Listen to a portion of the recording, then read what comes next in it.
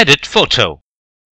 Icard Xpress offers you several editing tools. Just select the photo you want to edit and click on the edit icon. You can rotate your photo both clockwise and counterclockwise with the rotate clockwise and rotate counterclockwise options.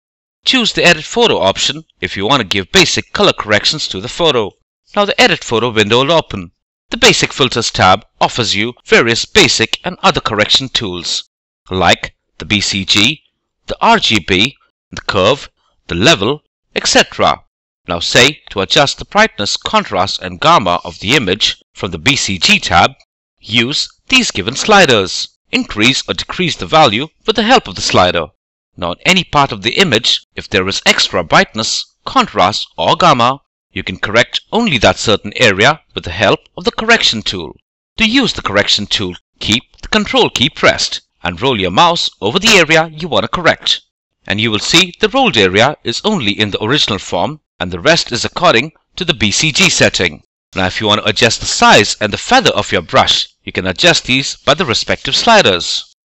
If you want to bring back the BCG settings on a certain part which you had mistakenly corrected, Keep the Shift key pressed and roll the mouse over the area you want to bring back the changes.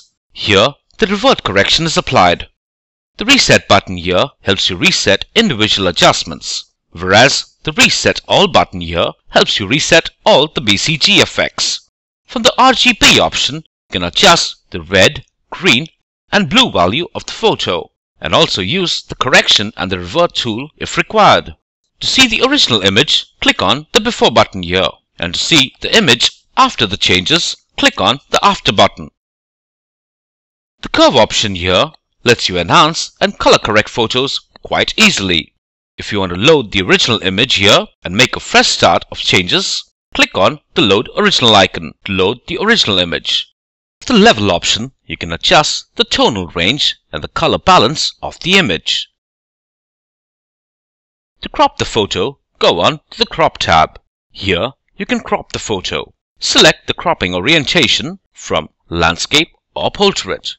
Now if you want to do a freehand cropping, uncheck the Maintain Aspect Ratio checkbox. Crop the image here like this.